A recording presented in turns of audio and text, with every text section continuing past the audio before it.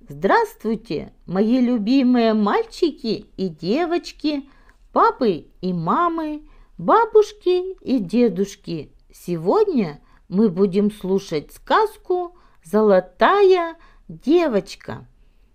Овдовел один человек и женился во второй раз.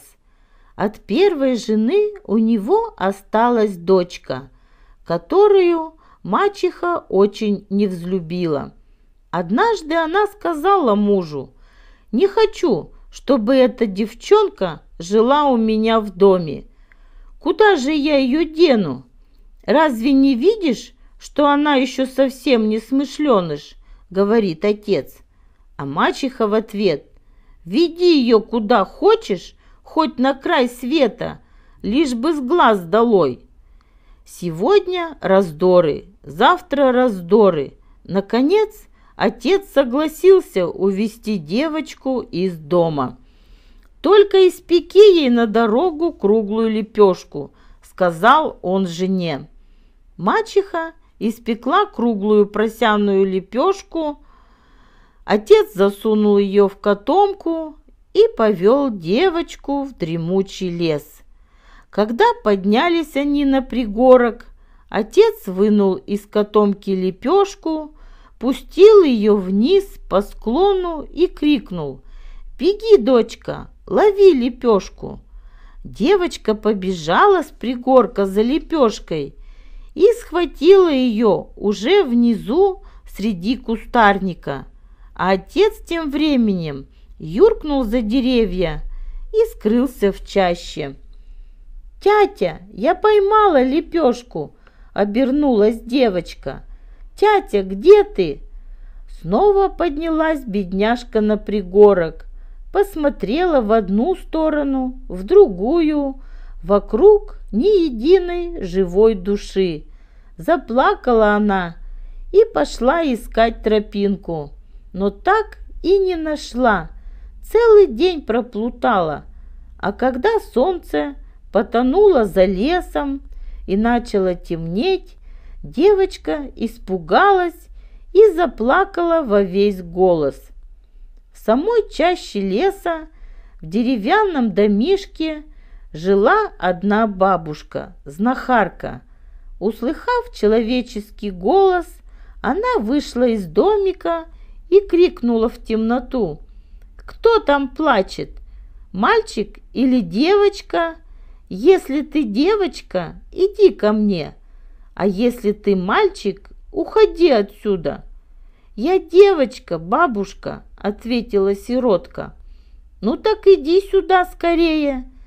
Девочка подошла и спросила, а почему, бабушка, ты не хочешь взять к себе мальчика?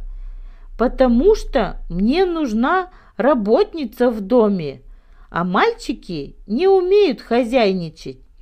Девочка вошла в домик, Бабушка накормила ее и положила спать.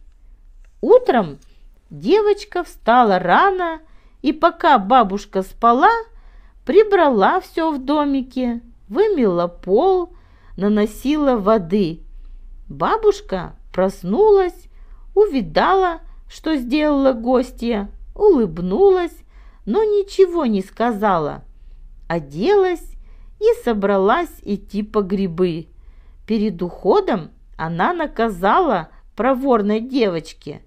В погребе у меня живут змеи и ящерицы. Завари отруби и покорми их. Не бойся к ним подходить, они у меня не кусаются. Девочка заварила отруби, остудила их, накормила старушкиных питомцев и так как работы у нее не было, стала нанизывать на ниточку бусинки. Смастерила ожерелья и надела их на всех змеек и ящериц. К полудню бабушка возвратилась домой, а змеи и ящерицы выползли ее встречать и давай хвалиться. «Вон как нас девочка нарядила!» А как сладко нас девочка накормила. И бабушка нарядит девочку за это, сказала знахарка и снова улыбнулась. Около бабушкиного домика текла волшебная речка. Через каждый час она меняла свой цвет. После обеда бабушка привела девочку на берег реки и прилегла на траву и сказала, «Я подремлю, а ты спой мне, чтобы я поскорее заснула». Девочка присела в изголовье у бабушки и запела. Песенка ее была тихой, как жужжание пчелки. Перед тем, как заснуть, бабушка проговорила сонным голосом. «Гляди на речку. Сначала потечет в ней синяя вода, потом красная, потом черная, а после черной потечет желтая вода. Вот тогда тебе надо меня разбудить». И она задремала. Девочка стала смотреть на реку. Река каждый час меняла свой цвет. Сначала текла синяя вода, потом красная, потом черная. Наконец потекла желтая вода, и девочка разбудила бабушку. Бабушка вскочила, схватила девочку за волосы, окунула ее в реку и крикнула «Хватай то, что попадется в руки!» Девочка схватила что-то под водой, а когда старушка вытащила ее, то увидела, что она держит в руках какой-то ларчик. «Что в нем лежит?» – спросила девочка. «Когда придешь домой, отопрешь его вот этим ключиком и увидишь», – ответила бабушка и протянула девочке ключик. Потом вывела ее из леса, показала дорогу домой и попрощалась с ней.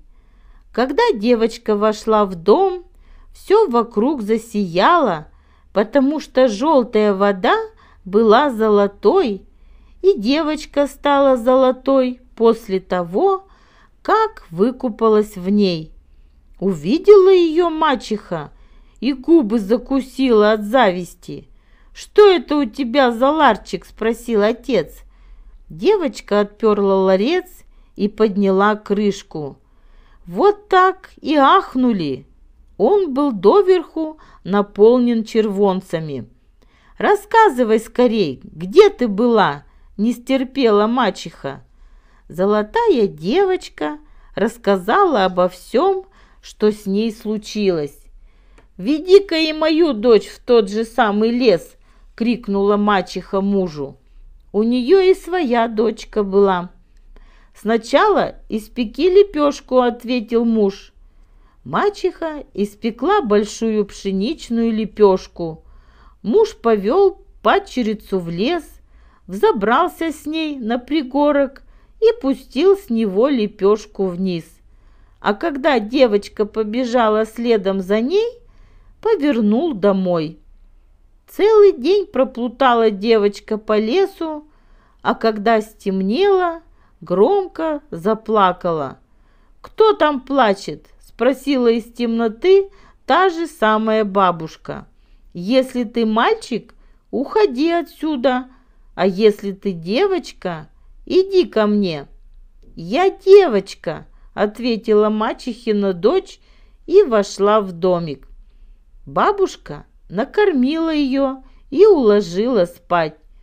Утром, когда пригрело солнце, бабушка поднялась и видит, что гостья все еще спит.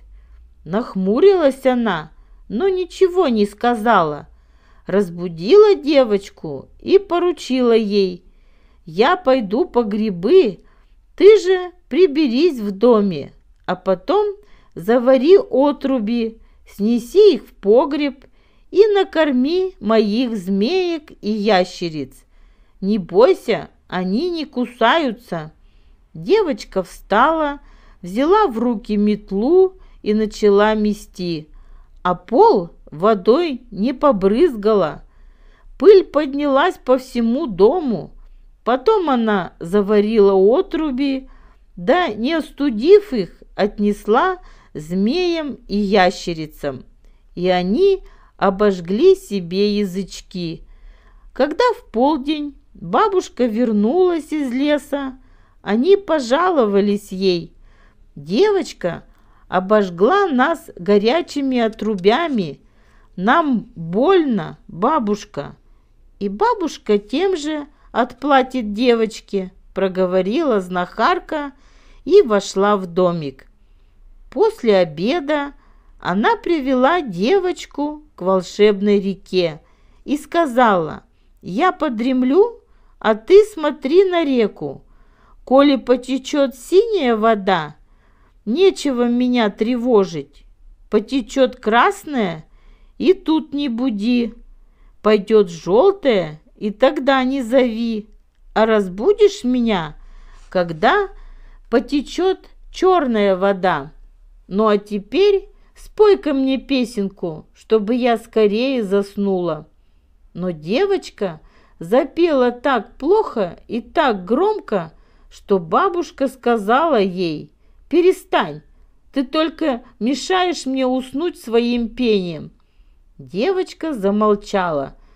Бабушка задремала, а река зашумела и начала менять свой цвет. Когда потекла черная вода, девочка разбудила бабушку. Старушка вскочила, схватила мачехину дочь за волосы, окунула ее в воду и крикнула «Хватай то, что попадется в руки!» Девочка нащупала под водой ларчик и крепко прижала его к себе. Бабушка вытащила девочку на берег и дала ей ключик, чтобы та отперла ларец, когда вернется домой. Потом старушка вывела мачехину дочь из леса и показала ей дорогу домой. Дело было к вечеру, и мать поджидала ее на краю села. Увидав, что дочка стала черной и безобразной, Мачеха позеленела от злости, но подумала, может, она хоть ларец принесла, наполненный золотом. Пришли они домой, отперли ларчик, и что же увидели? В нем были змеи, ящерицы да раки. Все завизжали и кинулись в разные стороны, а золотая девочка выскочила на улицу – Беги скорее, сними с нее золотое платье, нарядим в него мою дочь!» — крикнула мачеха мужу. Бросился отец следом за дочерью. Побежала она от него, а он за ней. Как увидела золотая девочка, что отец ее догоняет, раскинула руки и спорхнула, словно птичка. Полетела над домами, над садами, над горными вершинами и поднялась высоко в небо, обернулась золотым месяцем и осветила землю.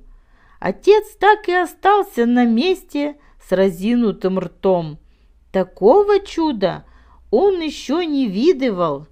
С тех пор золотая девочка появляется по ночам на небе освещает всю землю и ищет глазами свой родной край. Вот и сказки конец, а кто слушал, молодец. Понравилось видео? Подписывайся на канал, ставь лайк, пиши комментарии, жми на колокольчик. До встречи в новых видео.